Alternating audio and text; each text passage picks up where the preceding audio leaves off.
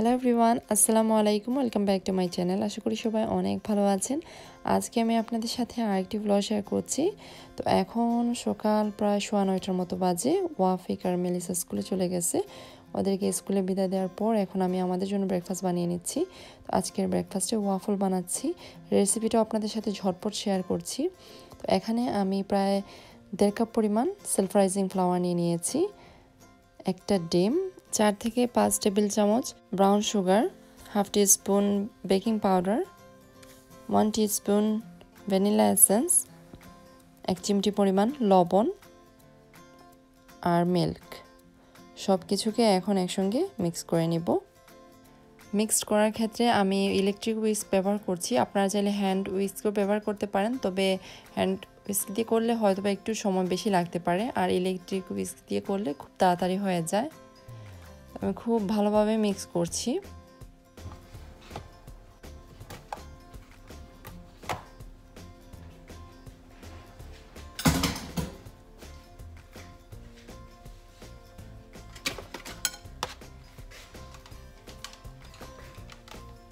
ওয়াফলের batter ready হয়ে গেছে, তো আমি এক সাইডে রেখে দিয়েছি। আর এদিকে ওয়াফলের মেকারটাও বের করে নিয়েছি ড্রর থেকে। আপনারা এই ওয়াফলের মেকারটা খুব সহজেই অ্যামাজনে পেয়ে যাবেন। আমি একটা জিনিস মিস করে ফেলেছি ওয়াফলের ব্যাটারে বাটার দিতে ভুলে গিয়েছি। তো বাটারটাকে আমি 30 সেকেন্ডের জন্য মাইক্রোওয়েভে মেল্ট করে নিয়েছি। এখানে প্রায় one third cup melted butter আমি ইউজ করেছি। ওয়াফল মেকারটাকে অন করে দিয়েছি। ওয়াফল মেকারটা গরম যখন হয়ে যাবে তখন এর মধ্যে একটু বাটার লাগিয়ে নিয়েছি, যাতে করে ওয়াফল কুক হওয়ার পর খুব সহজে উঠে আসে। পরিমাণ মতো ব্যাটার দিয়ে দিলাম। ঢাকনাটা এখন লাগিয়ে দিব। আর উপরে যে লাইটটা জ্বলছে সেটা যখন ওয়াফল কুক হয়ে যাবে তখন কিন্তু নিভে যাবে। আর এদিকে আমি একটু সিরিয়াল বানিয়ে নিচ্ছি, যেহেতু আমার হাজব্যান্ড ওয়াফল খাবে না, ও সিরিয়াল খাবে, তাই ওকে আমি সিরিয়াল বানিয়ে দিলাম। লাইটটা অফ হয়ে গেছে, তো আমি এখন লিডটা খুললাম। কত কম সময়ে আর কত সহজেই কত মজার একটা ওয়াফল রেডি হয়ে গেল। খেতে খুবই সফট খুবই মজার। আমি সবসময় প্লেন ফ্লাওয়ার দিয়ে ওয়াফল বানাতাম। তবে আজকে ঘরে প্লেন ফ্লাওয়ার ছিল না, তাই আজকে আমি সেলফ রাইজিং ফ্লাওয়ার দিয়ে বানিয়েছি। সত্যি বলতে সেলফ রাইজিং ফ্লাওয়ার দিয়ে ওয়াফল বানালে টেস্ট আরও ভালো আসে, আপনারাও ট্রাই করে দেখতে পারেন। আমরা অনেকেই আছি ডিজার্ট শপের ওয়াফল খুবই পছন্দ করি, তবে আমার মনে হয় এই ওয়াফলটা বানিয়ে আপনারা যদি খান, তাহলে আর ডিজার্ট শপের ওয়াফলের কথা ভুলেই যাবেন, খুবই মজা হয়। তো আমি এখন টপিংটাও দিয়ে দিচ্ছি। আপনারা আপনাদের পছন্দের ফ্রুট অনুযায়ী টপিং দিতে পারেন, তবে আমি এখানে কলা আর একটু চকলেট সিরাপ দিয়ে দিচ্ছি। এই তো। খুবই মজাদার একটা ব্রেকফাস্ট রেডি আমার খুব প্রিয় waffle fresh waffle fresh donut homemade donut আমার অনেক অনেক প্রিয়। সকালের ব্রেকফাস্ট আমাদের বডির জন্য খুবই খুবই ইম্পর্ট্যান্ট তাই সবসময় চেষ্টা করবেন যে সকালে একটু ভারী ব্রেকফাস্ট করার, একটু হেলদি ব্রেকফাস্ট করার। অনেকেই জিজ্ঞেস করেন যে সারাদিন এত কাজকর্ম করার পরও নিজেকে এত অ্যাক্টিভ রাখি কীভাবে? আসলে আমরা সবাই কিন্তু কম বেশি অ্যাক্টিভ হার্ড ওয়ার্ক করি।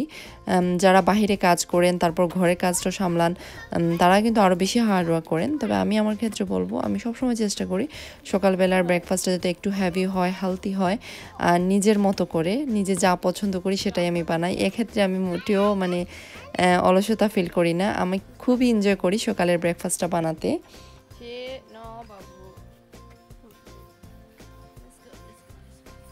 একটু আগে অনেক বড় একটা পার্সেল রিসিপ্ট করলাম। তো পার্সেলটা দেখার পর অনেক বেশি খুশি লাগছে আমার, কারণ কিছুদিন অপেক্ষা করছিলাম এই পার্সেলটার জন্য। ফাইনালি চলে এসেছে।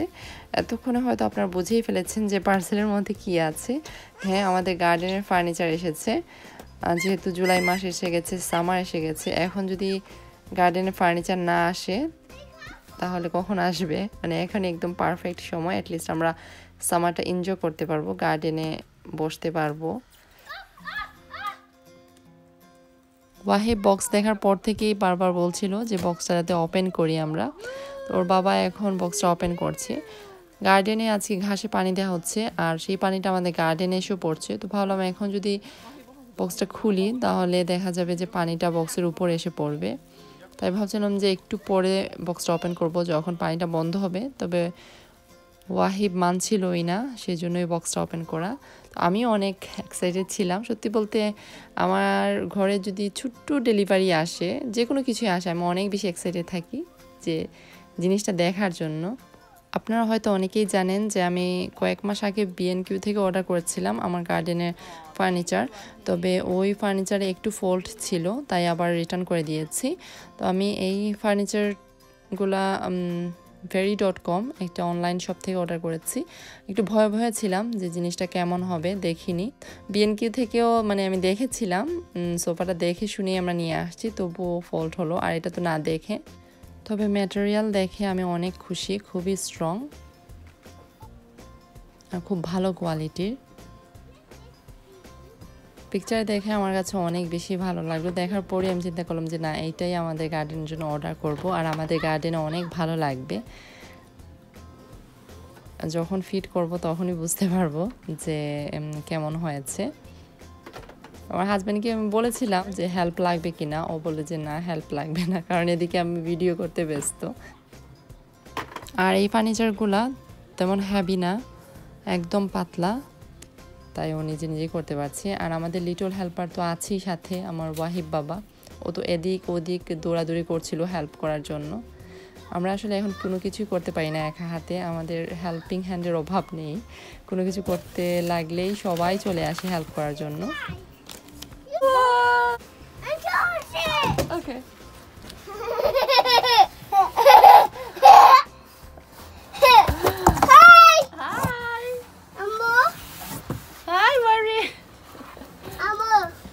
I told it.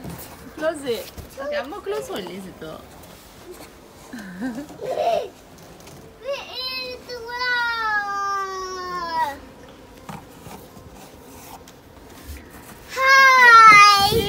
ওইদিকে আমি ওয়াহিব আর ওয়ারিদকে একটু ব্যস্ত রাখছিলাম যেহেতু বারবার ওরা চলে আসছিল হেল্প করার জন্য এদিকে আমার হাজব্যান্ড অর্ধেক সোফা বানান বানিয়ে ফেলেছে আর অর্ধেক রয়ে গেছে এখনও কয়েকদিন আগে বলেছিলাম আপনাদেরকে যে আমরা সামার হলিডেতে কোথাও যাওয়ার প্ল্যান করছি। তো আলহামদুলিল্লাহ আমাদের সব কিছুই ঠিকঠাক। আমাদের ডেটও ঠিক হয়ে গেছে যে কবে যাচ্ছি, আর কোথায় যাচ্ছি, কোন দেশে যাচ্ছি, সেটাও আমি আপনাদের সাথে খুব তাড়াতাড়ি শেয়ার করব। আজকে ব্লগে আর করছি না। ইনশাল্লাহ আগামী যে ব্লগটা আসবে, সেই ব্লগে আপনাদেরকে জানাব। সেজন্য আমরা খুবই খুবই এক্সাইটেড কারণ গত ব্লগে অনেক আপুরাই কমেন্টে আমাকে জিজ্ঞেস করেছেন যে, আপু ভ্যাকেশনে কোথায় যাচ্ছেন? আপুদের এখনও মনে আছে যে, আমি বলেছিলাম। তো আমিও ভাবছিলাম যে সব কিছু যখন ঠিকঠাক হয়ে যাবে তখন আমি আপনাদেরকে জানাব। এত আগে বলে আসলে লাভ নেই, যদি প্ল্যান ঠিক না থাকে। গত ব্লগে আমি কয়েকটা বিষয় নিয়ে কথা বলেছিলাম। মানে কয়েকটা কমেন্টের আনসার দিয়েছিলাম। তো অনেক আপুরাই খুব সুন্দর সুন্দর কমেন্ট করেছেন, যেগুলো পড়ে সত্যি আমার মন অনেক বেশি ভালো হয়ে গেছে। আপনাদের ভালোবাসা আছে বলেই বাংলাদেশি মম ইউকের চ্যানেলটা কিন্তু এখনও আছে মানে এখনও রানিং আছে। অনেক আশা আছে মনের মধ্যে যে চ্যানেলটাকে অনেক দূরে নিয়ে যাব। জানি না কদ্দূর পারব, তবুও আমার চেষ্টা থাকবে মানে খুব বেশি, যে আপনাদের কাছে যাতে ভালো কিছু পৌঁছে দিতে পারি। তো আমরা এখন সবাই মিলে চকলেট খাচ্ছিলাম। যেহেতু বাসায় অনেক চকলেট, তো ওয়াহি ওয়ারিদের মুখে একটা চকলেট দিয়ে দিয়েছে। চকলেটটা একটু বড় ছিল, তাই ওয়ারিদের মুখ থেকে আমি নিয়ে আসলাম। নিয়ে আসা অনেক আপসেট ছিল, তো আমি ওকে একটু গার্ডেনে নিয়ে আসলাম যে একটু বাহিরে আসলে হয়তো মনটা ভালো হবে। তো যে কথায় ছিলাম, আলহামদুলিল্লাহ আপনাদের সবার দোয়ায়, সবার ভালোবাসায় আমার চ্যানেলে খুব খুব কম নেগেটিভ কমেন্ট আসে। তবু একটা ইউটিউব চ্যানেলে এক হাজার জনের মতামত থাকবে। এক হাজার জনের মতামত যে সেম হবে কিংবা একই ধরনের হবে তা না, কিন্তু আমাদের হাতের পা আঙ্গুল কিন্তু সমান না। তো আমাদের মানুষের মনও কিন্তু এক না। সবার মনটাই ডিফারেন্ট তবু আলহামদুলিল্লাহ, আমি আমার কমেন্টের মাধ্যমে বুঝতে পারি যে না, দুনিয়াতে অনেক অনেক ভালো মানুষ এখনও আছেন। দু একজন মানুষ অন্যরকম থাকতেই পারে, সেটা কোনো ব্যাপার না। কারণ আমরা যখন দেখি খবরে কিংবা নিউজে কিংবা কোনো চ্যানেলে যে একটা মানুষ মারা গেছে, তখনও দেখবেন যে খারাপ কমেন্ট চলে আসছে, মানুষ খারাপ কমেন্ট করছে। তখন এই মানুষগুলোকে কোন কাতারে নেওয়া যায় কিংবা কি বলা যায়? কারণ একটা মানুষ মারা গিয়েছে, মানুষ যতই খারাপ হোক, ওই মানুষটার জন্য আমরা দোয়া করব, ওই মানুষটার জন্য আল্লাহর কাছে চাইব যে আল্লাহ সুবাহ তালার জন্য ওই মানুষটাকে ক্ষমা করে দেন, সাথে সাথে আমাদেরকেও। তা না করে আমরা ওই মানুষটার খারাপ দিকগুলো তুলে আনি। আমি এখানে সবার কথা বলছি না। কিছু মানুষই আছে সমাজে যে অন্যকে নিয়ে গবেষণা করে বেশি কিংবা অন্যকে নিয়ে কথা বলতে পছন্দ করে বেশি। তো এইসব মানুষ থেকে দূরে থাকাই ভালো কারণ এই ধরনের মানুষরাই কিন্তু আমাদের সমাজকে দূষিত করছে আমাদের সমাজের পরিবেশকে নষ্ট করছে। আসলে আমি গতকালকে মোটেও কষ্ট পাইনি কোনো কমেন্ট নিয়ে। মানে গত ব্লগে আমি যে কমেন্টগুলোর কথা বলেছিলাম, আমি মোটেও কষ্ট পাইনি। আমি শুধু বলতে চেয়েছি, আমি বোঝাতে চেয়েছি ওদেরকে, কারণ কমেন্টে লিখে দেখা যায় সব কিছু বলা পসিবল হয় না, আর সব কিছু বোঝানো সম্ভব হয় না লিখে। তাই চেয়েছিলাম যে আপনাদের সবার সাথে কথাগুলো শেয়ার করি। আমি সবার হয়ে একটা কথা বলতে চাই, যারা ইউটিউবে কমেন্ট করেন যারা মনে করেন যে নেগেটিভ কমেন্ট করা বাধ্যতামূলক তাদেরকে বলব যে প্লিজ নেগেটিভ কমেন্ট করা থেকে বিরত থাকবেন। কাউকে কষ্ট দিয়ে কী লাভ বলুন? আর রেসপেক্টের সাথে কিছু বললে আপনার প্রতিও কিন্তু আমাদের সবার রেসপেক্ট বেড়ে যায়। আজকে কমেন্ট বক্সে আপনি কমেন্ট করেছেন। দেখা যাচ্ছে যে আরও অনেকেই আপনার কমেন্টটা পড়েছে। আপনি যদি কোনো খারাপ ভাষায় কথা বলেন সবার কাছেই আপনার ভাবমূর্তিটা অন্যভাবে প্রকাশ পায়। তাই নিজের পরিচয়টা ওইভাবে দিবেন না। আমি প্রিটি শিওর যে আলহামদুলিল্লাহ আমরা সবাই খুব ভালো পরিবেশ থেকে বড় হচ্ছি। কারণ কারও মা বাবাই চায় না বাচ্চাদেরকে খারাপভাবে কিংবা খারাপ পরিবেশে বড় করতে। সবাই কিন্তু চাই যে আমাদের বাচ্চাদেরকে যাতে সঠিক শিক্ষাটা দিতে। তো আমরা চাইব যে আমাদের পারিবারিক শিক্ষাটা যাতে ভালোভাবেই প্রকাশ করি, খারাপভাবে যাতে প্রকাশ করি না। আপনাদের একটা ভালো কথা কিন্তু একটা মানুষকে অনেক বেশি খুশি করে দেয়। আবার একটা খারাপ কথা, একটা মানুষকে ডিপ্রেশনে ফেলে দেয়। তাই প্লিজ আপনারা কোনো কিছু বলার আগে একটু চিন্তা ভাবনা করে বলবেন। এতক্ষণ অনেক কিছুই বললাম, ভুল কিছু বলে থাকলে প্লিজ মাফ করবেন। ইতিমধ্যে আমাদের গার্ডেনের সোফাটাকে আমরা সুন্দরভাবে সেট করেছি। আমি কর্নার সোফা অর্ডার করেছিলাম। তো মাসাল্লাহ আমার গার্ডেনের সাথে অনেক সুন্দর মানিয়েছে এই সোফাটা। আর ওয়ালে যে আর্টিফিশিয়াল লিফ লাগিয়েছি, সেটা দেখতে অসম্ভব ভালো লাগছে। খুব ন্যাচারাল একটা লুক এসেছে, যেটা আমি চেয়েছিলাম। যেহেতু গার্ডেনের সোফা এসে গেছে, তো ইনশাল্লাহ এখন আস্তে আস্তে করে গার্ডেনটাকে সুন্দরভাবে ডেকোর করব আমি। আমার হাজব্যান্ড গার্ডেনের ছাতাটাকেও সেট করে ফেলেছে। ছাতাটা অর্ডার করেছি, যেহেতু সামারে অনেক বেশি গরম থাকে আর রোদও বেশি পড়ে। ছাতা থাকলে অনেক সময় দুপুরবেলা আমরা গার্ডেনে বসতে পারব, গল্প করতে পারব। এত বেশি রোদ থাকবে না কিংবা ছায়া থাকবে গার্ডেনে ছাতা দেয় আরও বেশি সুন্দর লাগছে। মনে হচ্ছে যে আমরা ভ্যাকেশনে কোথাও এসেছি, খুবই সুন্দর লাগছে। আর এগুলো হচ্ছে যে ছাতার ওয়েট মানে এগুলো দিলে ছাতাটা এক জায়গায় থাকবে, না হলে বাতাস দিলে ছাতাটা উড়ে যাবে, পড়ে যাবে। ছাতাটা বিশাল বড়।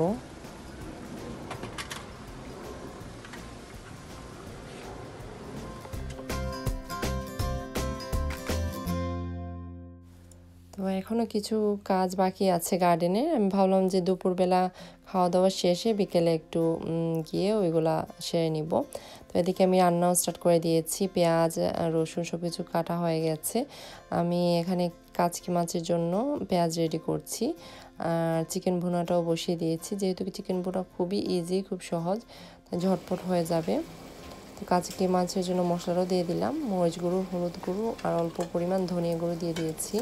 মশলাটা যখন কষে যাবে, তখন এর মধ্যে আমি কাচকি মাছও দিয়ে দিলাম। দিয়ে সব কিছু একসঙ্গে খুব ভালোভাবে মিক্স করে নিব। কাচকি মাছে আমি কয়েকটা কাঁচামরিচকে ফালি করে দিয়ে দিয়েছি। কাঁচামরিচ ফালি করে দিলে খুবই ভালো লাগে খেতে। তো আমি আরেকটা হাঁড়িতে মাছের ডিমের টক রান্না করব। সেজন্য পরিমাণ মতো তেল দিয়ে দিলাম। এখানে প্রায় দেড় কাপ পরিমাণ পেঁয়াজ কুচি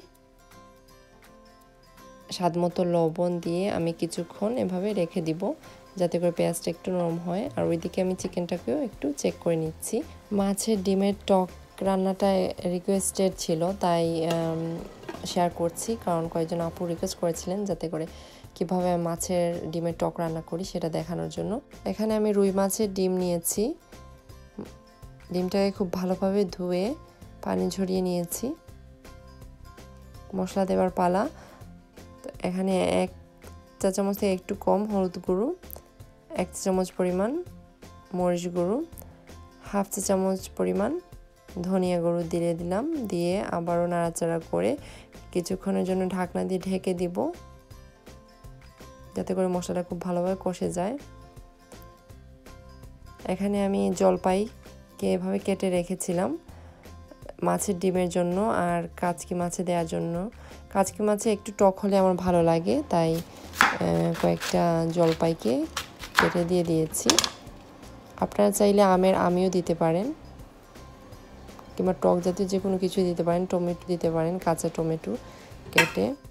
তো আমি রেড কেবিজ কেটে নিলাম এর ফাঁকে ভাজি করার জন্য। মশলা কষে গেছে, তো এর মধ্যে আমি জলপাই দিয়ে দিয়েছি। কেটে রাখা আর মাছের ডিমও দিয়ে দিলাম। মাছের ডিমটাকে আমি আর কাটিনি। তো আমি এভাবে ঢেকে দিলাম। জাস্ট দুই মিনিটের জন্য ঢেকে দিয়েছি। দুই মিনিট পর আমি ঢাকনাটা খুলে চামচ দিয়ে এভাবে ভেঙে ভেঙে দিব ডিমটাকে। খুবই ইজিলি আপনার কাটতে হবে না। জাস্ট এভাবে ভেঙে ভেঙে দিলেই হবে। ছোট ছোট পিস করে। অনেকেই দেখেছি ডিম রান্না যখন করেন তখন হাত দিয়ে কচলিয়ে তারপর রান্না করেন। আমি আর ওইভাবে রান্না করি না। আমার কাছে ওইভাবে ভালো লাগে না। তো ডিমের মধ্যে আমি পানি দিয়ে দিয়েছি। প্রায় দুই কাপ পরিমাণ এখন ঢাকনা দিয়ে ঢেকে দিব যাতে করে পানিটা শুকিয়ে যায়। সেই সাথে ডিমটাও যাতে রান্না হয়ে যায়। এদিকে ভাজিটাও আমি করে নিচ্ছি। রেড ক্যাবিজকে আমি একদম চিকন চিকন করে কেটে নিয়েছি। সব কিছু একসঙ্গে মিক্স করে নিচ্ছি। রেড ক্যাবিজ ভাজি আমার খুবই ভালো লাগে, যে কোনো বাঁধাকপি যেটাই হোক রেড রেড হোক আর গ্রিন হোক, আমার খুব ভালো লাগে ভাজি। আমি নাড়াচাড়া করে আবার ঢাকনা দিয়ে ঢেকে দিলাম। ডিমটাকে একটু চেক করে নিচ্ছি, ঠিক আছে কিনা পানিটা অনেকাংশেই শুকিয়ে এসেছে, তো আমি ধনে পাতা দিয়ে দিলাম। মাছের ডিমে কিন্তু ধনে পাতা দিলে অনেক ভালো লাগে খেতে। কাচকি মাছেও আমি ধনে পাতা দিয়ে দিচ্ছি। ভাজিতেও ধনে পাতা দিয়ে দিলাম। আমার রান্নাও শেষ হয়ে গেছে, তো আপনাদেরকে আরেকবার দেখিয়ে দিচ্ছি যে আজকে কি কি রান্না করলাম। মাছের ডিমের টক, জলপাই দিয়ে। খুবই মজা হয়েছে, যেহেতু আমি ভয়েস ওভার দিচ্ছি ট্রাই করার পরই আপনি যেভাবে রান্না করেছি, আপনারা ওইভাবে রান্না করে ট্রাই করে দেখতে পারেন। আশা করি আপনাদের কাছে ভালোই লাগবে।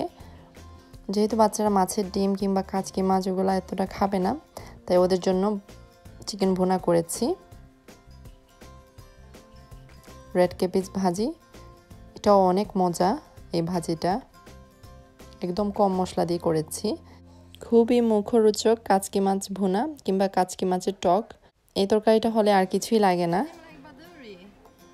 মাছ, মাংস একদম পিছনে পড়ে যায়।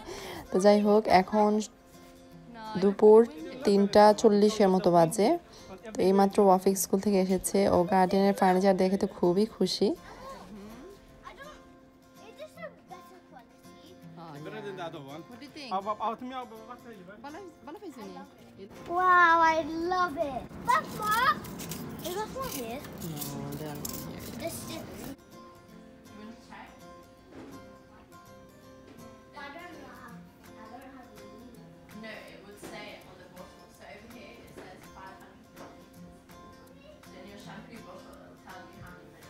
অনেকক্ষণ পর আমি ক্যামেরাটা অন করলাম। এখন প্রায় সোয়া পাঁচটার মতো বাজে। একটু আগে ওয়াফিকের টিচার বাসায় এসেছে। তো ওয়াফিক ওর টিচারের কাছে পড়ছিল। মিলিসা এখনও স্কুল থেকে আসেনি। ও চলে আসবে কিছুক্ষণের মধ্যে। তো আমি কিছু আম কেটে নিয়েছিলাম। টিচারকেও দিলাম। আমার জন্য নিয়ে আসলাম কিছু। ভালোই লাগে বাইরে বসে বসে আম খেতে, প্রাকৃতিক দৃশ্য উপভোগ করতে। আমাদের গার্ডেনে একটা বসার জায়গা হয়েছে। আজকে আকাশটা অনেক সুন্দর।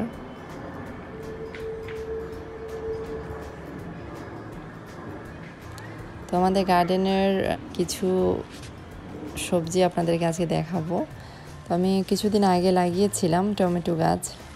গাছগুলো মাসাল্লাহ অনেক বড় হয়েছে। তো টমেটো ধরেছে কয়েকটা। এখনও পাকেনি।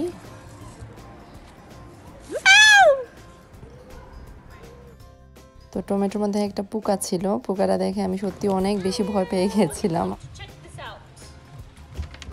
আমার খুবই ভয় লাগে। গার্ডেনিং করতে আমি অনেক বেশি পছন্দ করি। তবে এই সব পোকামাকড় দেখলে আমার মানে অনেক বেশি ভয় করে। মরিচ গাছেও মাসাল্লাহ মরিচ এসেছে। মাসাল্লাহ মরিচগুলো অনেক বড় বড়। সত্যি বলতে আমার কাছে যে খাব আর রান্না করব সেটা আমার কাছে বড় না। এই যে আমি দেখছি কিংবা একটু সময় গার্ডেনে আসি, আসার পর এই যে নিজের হাতে সবজিগুলো দেখি হেঁটে হেঁটে, এটাই আমার কাছে অনেক বেশি মানে খুশি লাগে। তারপর ওই দিন দেখলাম আমার আলু গাছেও কয়েকটা আলু মানে উপর দিয়ে ভেসে উঠেছে মানে আলু যে হচ্ছে সেটা বুঝতে পারছি। তো আমি আলু যখন তুলবো গাছ থেকে তখন ইনশাল্লাহ আপনাদের সাথে শেয়ার করব। এইটা একটা ফলের গাছ, তো এই ফলটার নাম হচ্ছে প্লাম। এই ফলটা খুবই মজার। তো আমাদের গার্ডেনে দুইটা গাছ আছে প্লামের। আমাদের কমিউনিয়াল গার্ডেনে আরও কয়েকটা ফলের গাছ আছে, যেমন আপেলের গাছ আছে ব্লুবেরি গাছ আছে, মালবেরির গাছ আছে, তারপর রাসবেরির গাছ আছে, স্ট্রবেরির প্লান্ট আছে। তো অনেক ফলেরই গাছ আছে, চেরি গাছও আছে। আপনাদেরকে দেখিয়েছিলাম একটু আগে। চেরি গাছ। আর এটা হচ্ছে মালবাড়ি।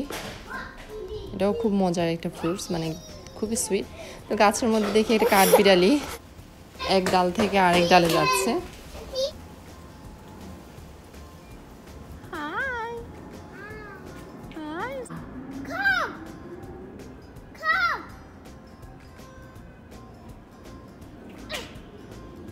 এখন যেহেতু একটু ফ্রি আছি, তো ভাবলাম যে সোফাটাকে একটু সুন্দরভাবে সাজিয়ে নিই। এখনও প্যাকেজিং খুলিনি, ওইভাবেই ছিল। তো প্যাকেট থেকে কুসুমগুলো খুলে নিচ্ছি।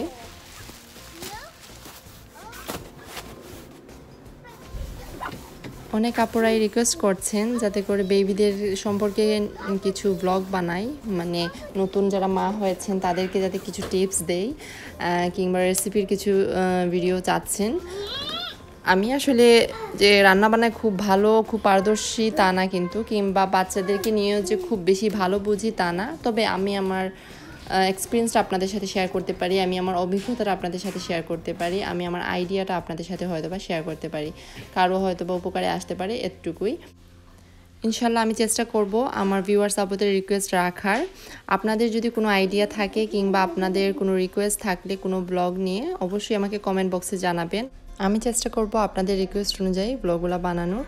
অনেকের মনে হয়তো কৌতূহল আসতে পারে যে বৃষ্টি আসলে তখন সোফাটা তো ভিজে যাবে কিংবা নষ্ট হয়ে যাবে। সেজন্য আমি এই কাভারটা কিনেছি যাতে করে বৃষ্টির পানিতে সোফাটা নষ্ট না হয়। আর যেহেতু এই সোফাটা ওয়াটারপ্রুফ এভাবে থাকলেও না ঢেকে রাখলেও সমস্যা নেই। তবে আমি ঢেকেই রাখলাম যাতে করে জিনিসটা আরও সুন্দর থাকে। যত্ন করে রাখলে যে কোনো জিনিসই অনেক সুন্দর থাকে কিংবা ভালো থাকে দেখতেও ভালো লাগে। অযত্নে অনেক দামি জিনিস খুব সহজেই নষ্ট হয়ে যায়। আর যত্ন করে রাখলে কম দামি জিনিসও দেখতে অনেক বেশি ভালো লাগে। ফেরি লাইটস আমার খুব ভালো লাগে। তো আমার ইচ্ছা আছে আমার গার্ডেনে কিছু ফেরি লাইটসও লাগানো তো ইনশাল্লাহ অন্য একদিন লাগাবো, আপনাদেরকে সাথে নিয়েই লাগাবো। তো আজকের জন্য আমি এখানে বিদায় নিয়ে নিচ্ছি। আশা করি আমার এই লম্বা ব্লগটা আপনাদের কাছে ভালো লাগবে। সবাই অনেক অনেক ভালো থাকবেন, সুস্থ থাকবেন, আমাদের জন্য দোয়া করবেন। আপনাদের জন্য রইল অনেক অনেক দোয়ার ভালোবাসা। আজকের জন্য এই পর্যন্তই। আল্লাহ হাফেজ।